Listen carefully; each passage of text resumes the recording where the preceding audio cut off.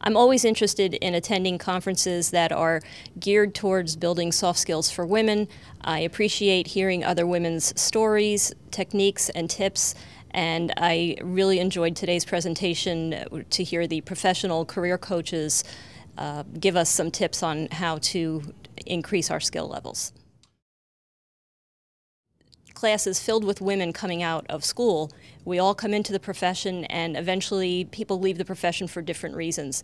And I think for women to see other women in powerful positions and to gain some of these skill sets is instrumental in helping them move along the career path.